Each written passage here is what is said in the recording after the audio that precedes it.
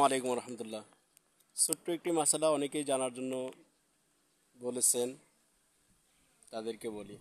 ভাই, যারা শরিকানায় কোরবানি দিবেন, খুব সতর্কতার সাথে শরিক নির্বাচন করেন।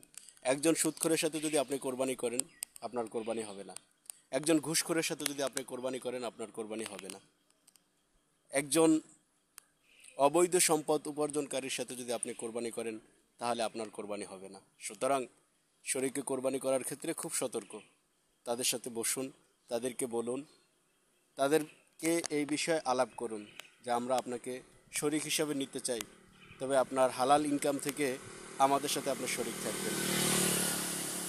দ্বিতীয়ত কথা হলো, যদি আপনি একান্ত শরিক নাই পান খুঁজে, তাহলে সেক্ষেত্রে আপনি একটা খাসি ক্রয় করে আপনার আল্লাহ তালার যে বিধান, কোরবানির হুকুমকে আপনি আদায় করে দিন। সালামু আলাইকুম রহমতুল্লাহ।